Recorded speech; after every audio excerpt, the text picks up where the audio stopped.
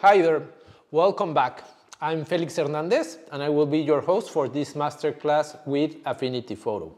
This is our third of four uh, lessons and if you are here for the first time, I will recommend you to go back and watch lesson one or two so you have a better idea of what we are doing here. We are going to be working in Affinity Photo with some photos I took of this uh, little guy, this little robot. Today we are working with uh, Potter. And again, before uh, jumping into creating our third image, as in the previous lessons, I'm going to show you a little video of what went into the photo production. So let's go and I will explain you uh, some details of the production while you watch the video. Well, now I'm in, in the studio. I'm just putting together a Potter. You can see that the magnet comes really handy to pose, just to put him together and to pose him almost in, in any way. adding the top And now here I'm using a foam. It's a grass used for making miniature scenery. It's just a foam uh, that comes with different uh, shades of green. Just making sure that it's uh, flat on the surface. Now I'm adding, turning on the lights. Again, I'm here using uh, four different lights the backlight, the head light, the top light, and the focus light, that is the one in the, in the right. Here you can see what of each light is making. It's really important to have a well-defined uh, silhouette. You have more impact in the image that way. You can see there the hair light with the backlight.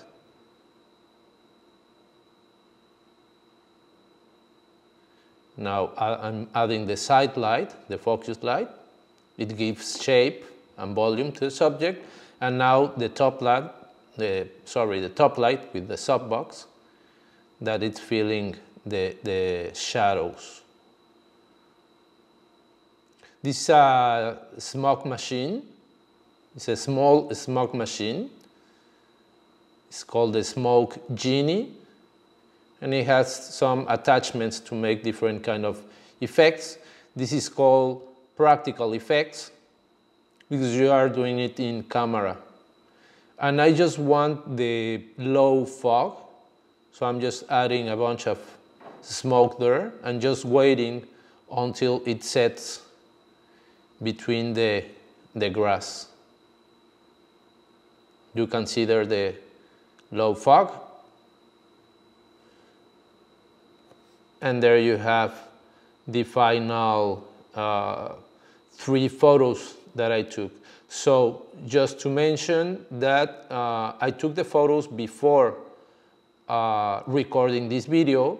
So in the original shooting, I had these flowers in the background, but when I did the, the recording for this video, I no longer had these uh, flowers. But I mean, it's exactly the same setup, the same process. I just added these flowers in the, in the background. And you can see the first photo, it's just without any practical effects. I mean, without the fog or the smoke. The center one, the, the middle photo, it's uh, adding that fog. You can see it in the foreground and a little bit in the background. And the third photo in the right uh, is just the plate.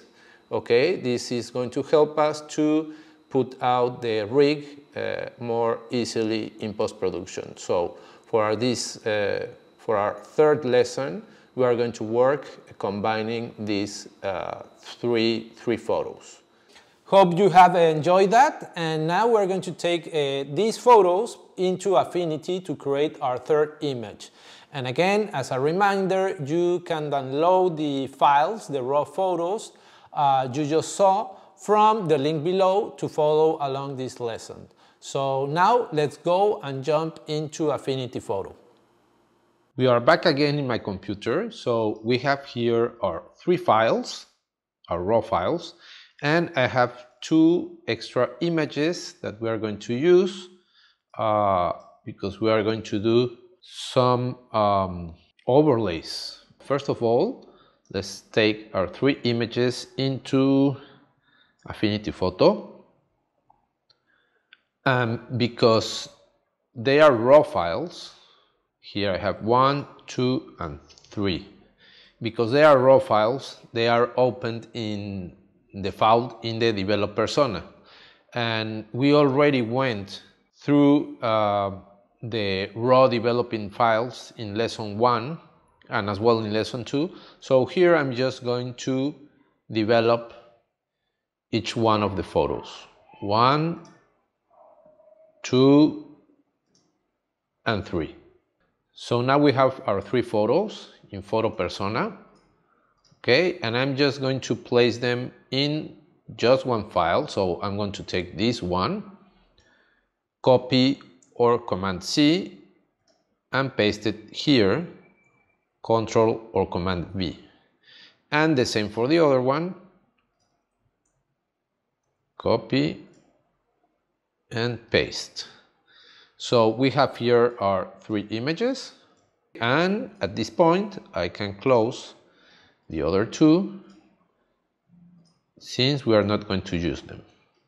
Great, now I'm going to organize them.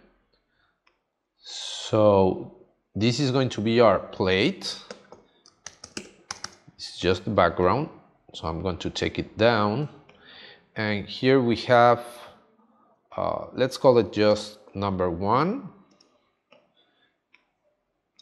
and the second one with the fog in the ground is number two now I just want the fog from this image so I'm just going to take it to the top I'm going to do a layer mask and with the gradient tool I'm going from here to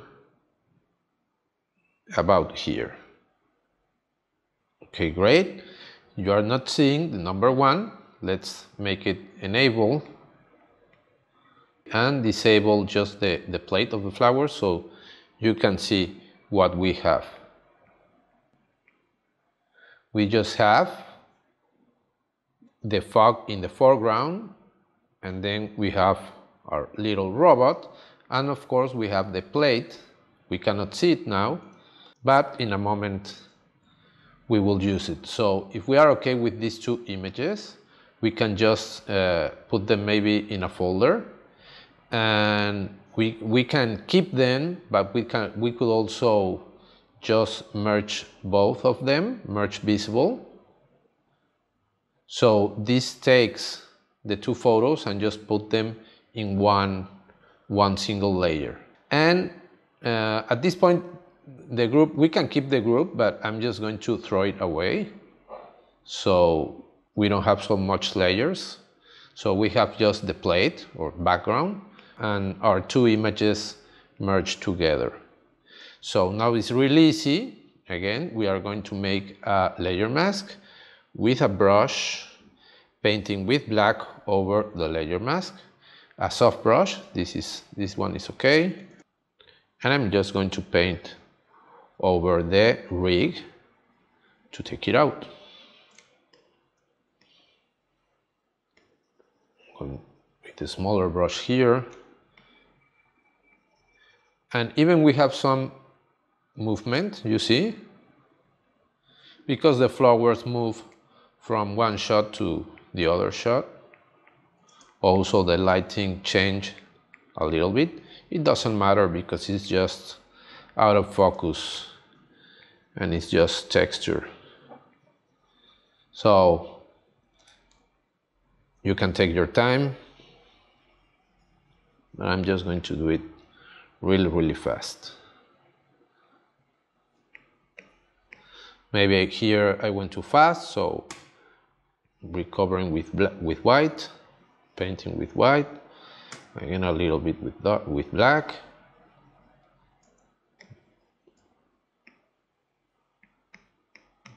from here. I think it looks it looks okay. Uh, maybe let me see. I like this light coming from the left, this flower, so I'm going to just recover that area. And there we go. We can put them both in a folder. And this one, I'm gonna keep it. So I'm going to put it, name it as robot. And I'm gonna save. File, save. And this is lesson three. Okay, now I'm going to grab one of those extra images I told you. Here I have it. This is from an image bank.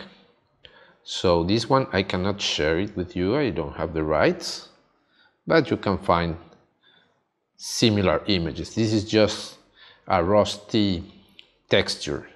What we are going to do is going to place it over the head to give more texture to our robot. So we are going to play with this overlay with the blending mode. And uh, if we want to take away everything that it's white, we can go and change it to uh, multiply. And you keep the dark values and you're taking away the lighter values. But as you can see, it's not completely white. So I'm going to leave it in normal I'm going to make a folder. I'm going to put that image inside a folder. I'm going to call it Rust. Rust. Yeah, and inside that folder, I'm going to make a layer adjustment. Let's use, uh, yes, levels. And I'm going to make this white texture even lighter. So see the difference?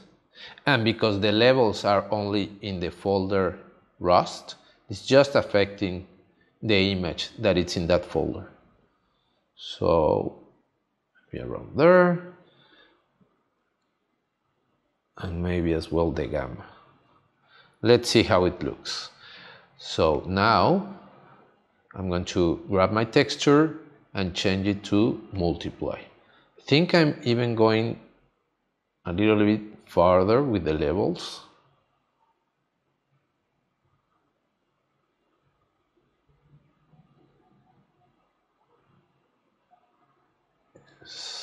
maybe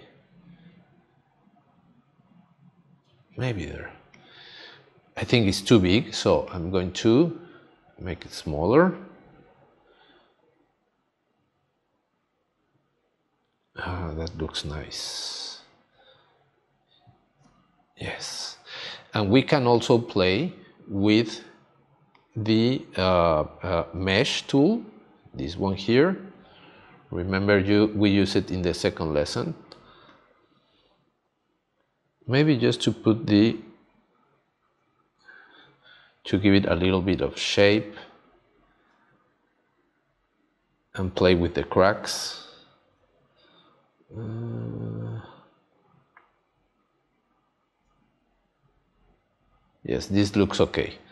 So now I'm going to make a layer mask to the texture image and I'm going to grab my brush tool I'm painting with again my brush tool painting with black just to take out to hide the texture I don't want over the robot. zoom a little bit, make smaller.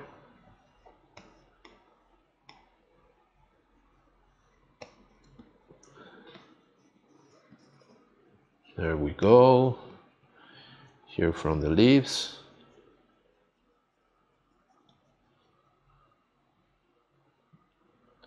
and as well you can take your time and I went too far.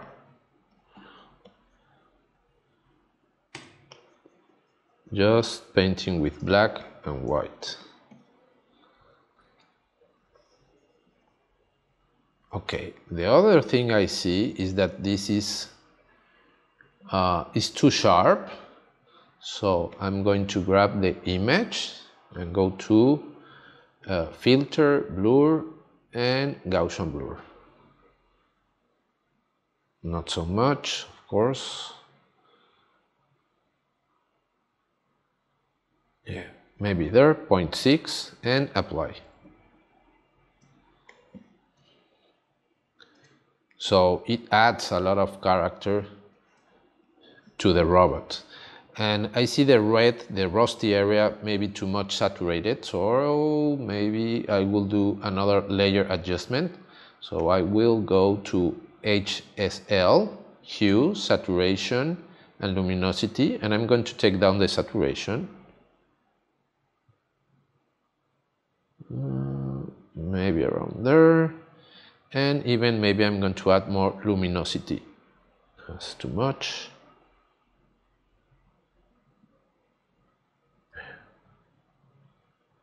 There we go. I'm okay with that. Remember, everything is inside the Rust folder. Okay, our uh, texture image, our HSL, and our levels. This is the before and after. Let's save.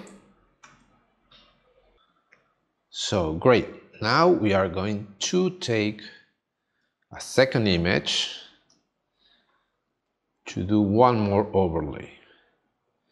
And these are some, how you call them, sparks.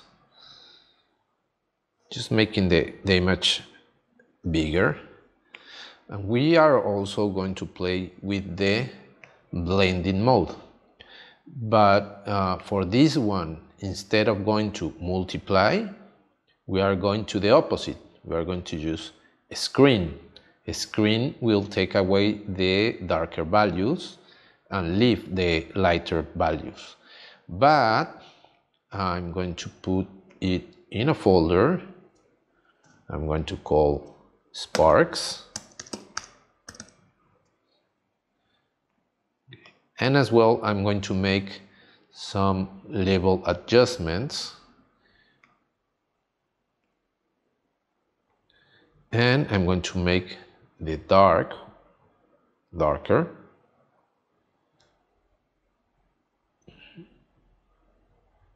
could be something like that and now let's see if we apply the screen ah, but not to the not to the layer adjustment to the image. Now screen. And let me go to the level adjustments again because I think I went too far.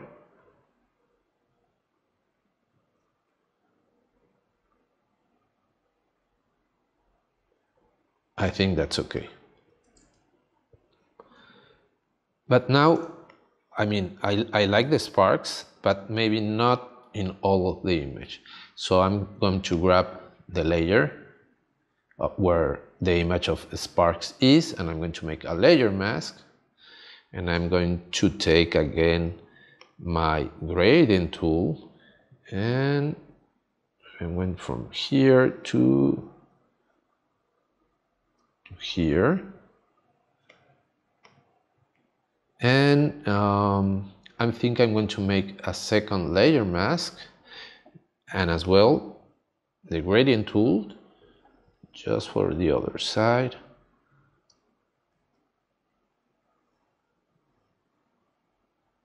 Maybe there. Okay. And I see, I mean, there's no problem we have sparks over our robot, but maybe some of them are distracting. So again, I'm going to make another uh, layer mask. And now I'm painting with my brush with black. I'm going to take away this one. Maybe this one. And maybe some of these. I like more the rounded sparks not so much the no I think there I went too far.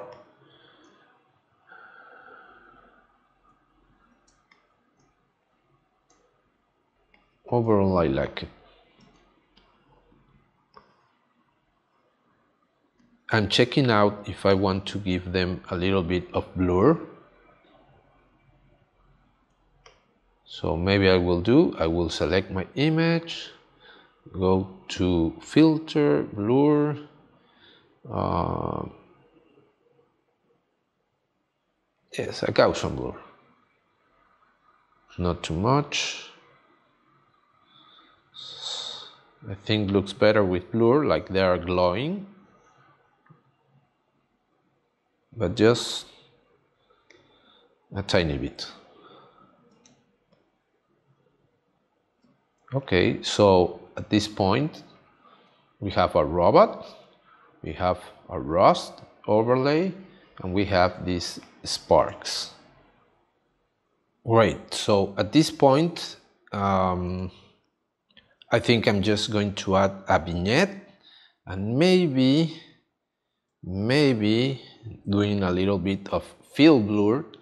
Uh, but for that I'm going to take all my files. I'm going to place them in a folder that I'm going to call art and I'm going to just merge visible so remember now I have uh, one image all merged together or all the elements are merged together but if for some reason I want to go back to my individual layers I have them here right? But we are going to work just with the merge image. Okay, so there are different ways to make a vignette. Uh, the easiest one is you will go to filters, uh, you have colors, and here we have vignette, right? So here I can adjust the exposure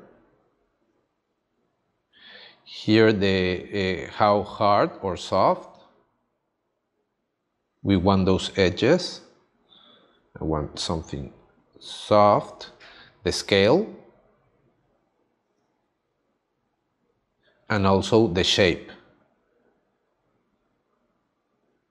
Okay. So that's one way. The thing here is that I cannot place the center of where I want the vignette. Here is really easy because I have my the face of my robot almost in the center of the of the file of the canvas. So I'm not going to use this one. I'm going to cancel, and uh, because I want to have full control. So it's also really easy. I'm just going to make a new layer. I'm going to go and uh, edit, fill. I'm going to fill with black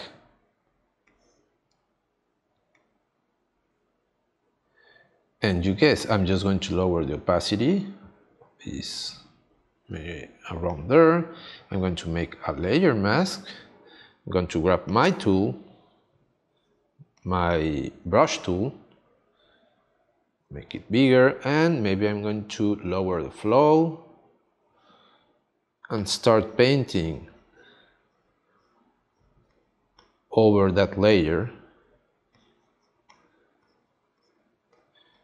just in the areas that I don't want the vignette.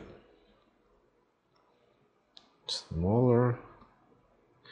The secret here is to make smooth, smooth transitions. You can see the before and after. And I'm going to hmm, lower the opacity. Um, I shot these uh, photos with a really shadow depth of field. It was around in my lens 2.8 and I like the background and the foreground that it's out of focus but we can even take it farther so I'm gonna take again my two images, put them in a folder, and the same. I'm going to put here vignette, vignette, and as well, I'm going to merge visible to have a new merge layer.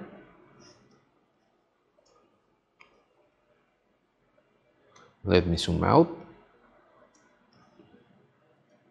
So now we can come here in filters, in blur, but now we are going to use this one, depth of field blur. Okay, and the first thing is you have two options. You can make it elliptical or tilt and shift. I'm going to use elliptical. So the first circle, the smaller, is like the protect area. So inside that circle, nothing is going to be blurred. And between the first circle and the second circle is transition. And uh, outside the second circle, okay, that's going to be applied the blur, the complete blur. So I want to protect this area. You can also give shape to this uh, circle, so maybe something like that. So if you want a hard transition, what you will do is to bring, sorry, to bring this, of course, I'm going to blur so you can see a little bit. So there you have like a hard transition, right? But we don't want that. We want a soft transition.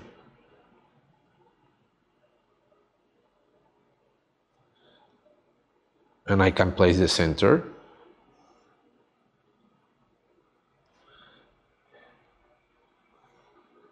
And I'm not going to go too far just about there. And if you are okay, just hit apply. And you can see the before and after, right? Just, it's just a tiny bit. You can see it in the corners here. So I found it a little bit distracting just a little bit. And it's a matter a matter of taste. So now we are going to we have done this in, in, in the other lessons but why not? Let's just really quickly add some uh, one light. I just want to light one eye. So a new layer my brush tool and let me select a color. I think for this one I'm going to with the orange just to mimic the sparks. About there. But really really saturated maybe this one. Close. Of course this is too big. Smaller brush a little bit harder. I'm going to put the flow right up. And I'm going to paint here. Okay but this one is going to be set to overlay. I'm going to do another layer. Brush smaller. Maybe around there. Perfect. And another more. Another one another layer now I'm painting with white, smaller. Mm. Maybe around there.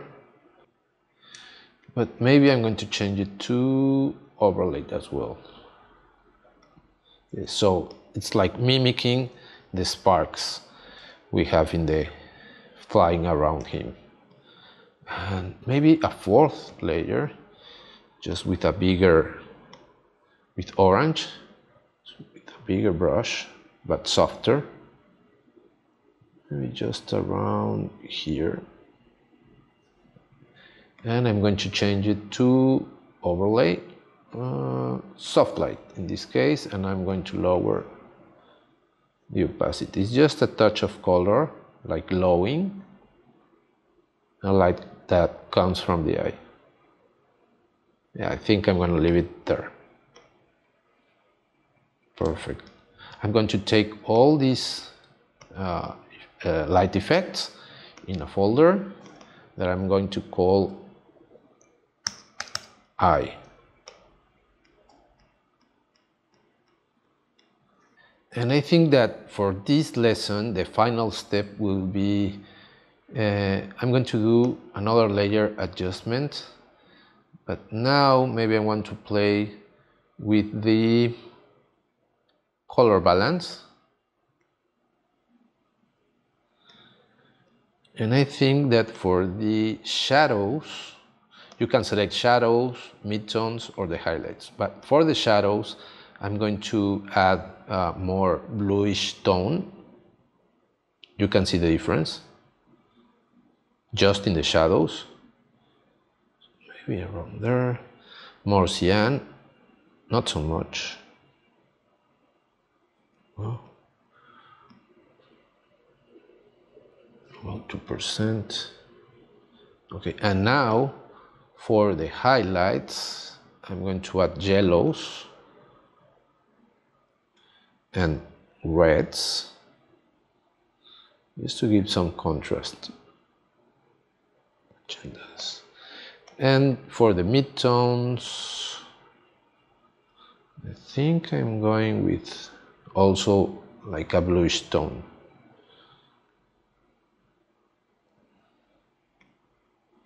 See? Yes, I like it. Okay, so I think we are going to leave it uh, like this. I think it's pretty cool. We have some nice texture, like the real texture and digital texture. We added some sparks, some uh, color grading, uh, doing some out of focus, vignette. I think it was a good lesson.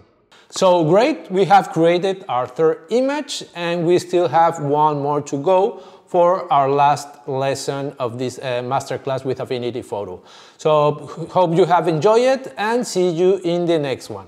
Adiós.